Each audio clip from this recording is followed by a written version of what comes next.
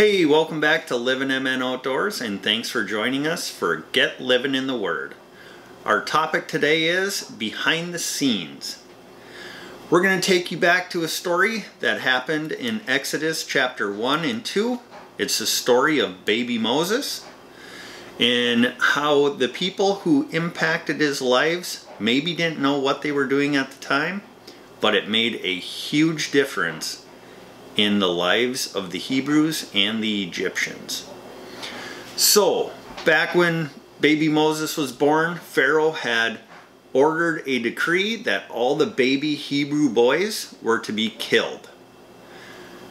But when Moses was born, the midwives decided to spare his life. At that point, his mom wasn't sure she was going to be able to hide him and keep him safe, so she put him in a basket and floated him in the river.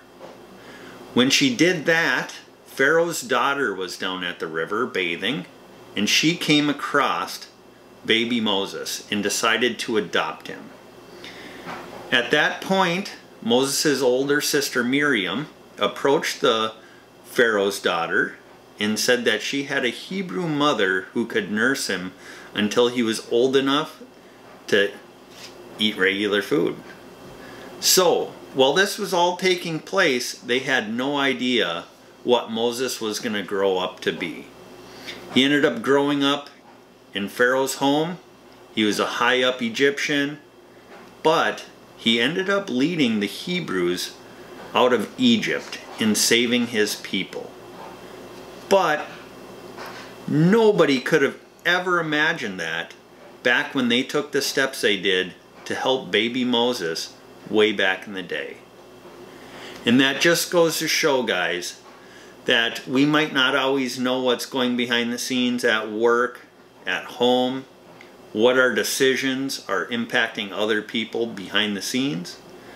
But we need to trust that God knows what's going on behind the scenes. Trust that He's a perfect and just God. He knows what's happening, and He'll use us any way He sees fit and maybe we'll even impact somebody's life and there'll be another Moses story. You never know. But if you guys get a chance later this week, I would encourage you to read the Moses story. Um, the story of baby Moses is Exodus 1 and 2, but the whole uh, book of Exodus talking about Moses is really good. So if you get the opportunity, read that story.